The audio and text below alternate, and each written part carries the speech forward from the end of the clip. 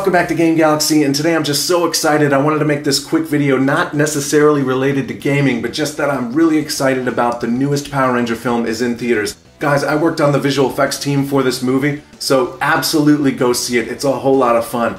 Now, I was able to go to the actual Power Ranger premiere here in Los Angeles on Wednesday night, and it was just unbelievable and incredible and fun. I got to meet some really uh, cool people and chat with some of the OG Rangers like Jason David Frank, Tommy Oliver, the Green Ranger, White Ranger. He was an awesome dude. That was just a blast, you know, to meet him. And, you know, he was really cool. He actually spent some time talking with me. And I feel so bad for him because this isn't really a spoiler in the movie, but he does have a cameo, and you'd be silly to expect him not to, so I'm not spoiling anything. But he does have a cameo towards the end of the film.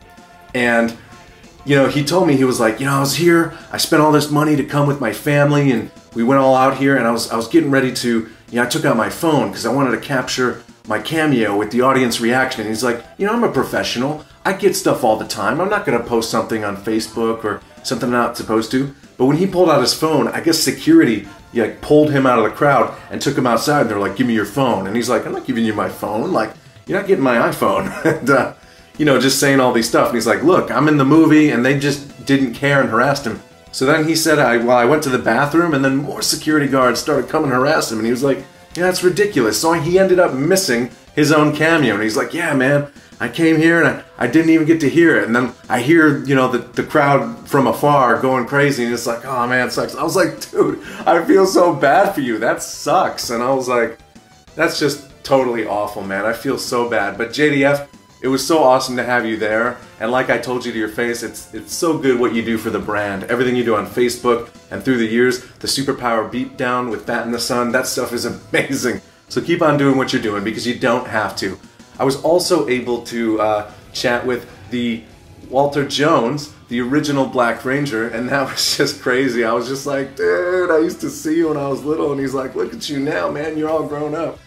And it was funny. Now here's where I feel stupid at this party, which was crazy, I saw this dude multiple times, multiple times, who had like sunglasses on, and I, you know, he caught my eye because I was like, who is, it? you know, and it turns out it was the original Red Ranger, Austin St. John, and I just, oh, I'm still mad about it because I didn't get a chance to chat with him and tell him I would have like lost my mind, like, dude, you're my favorite Ranger, you were my hero as a kid, you know, and I didn't get to do that, and I felt so stupid. And it's only because he was wearing the sunglasses. If he had, they were so large, if he had taken them off, I would have recognized his face in an instant. So I'm really upset that I didn't like check all of the Rangers' social media to see if they were going to be there because I'm I'm still beating myself up about it. You don't have any idea how sad I am about that. I really wanted to meet that man, and I might not get that chance again.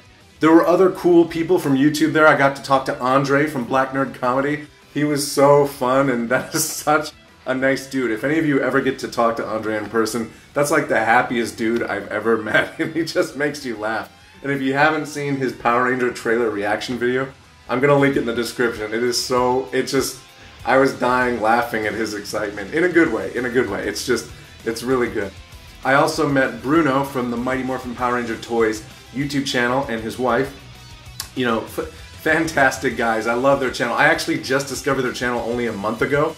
So I felt kind of awkward approaching him because I'm like, I, I know I don't know too much of your content, but I've just seen the amazing paintwork you do on the toys that you buy and, and, and do all that. So it's very cool. But yeah, man, it was just a whole lot of fun. I highly recommend everybody go see the movie.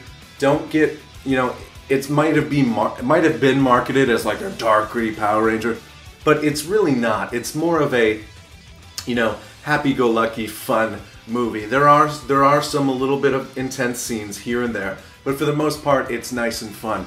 So absolutely go see the movie and return back to the YouTube channel here, Game Galaxy, on Sunday for the review of one of my favorite Power Ranger games of all time, and that's Power Rangers Super Legends on the PlayStation 2. So I'll see you Sunday on this. Take care.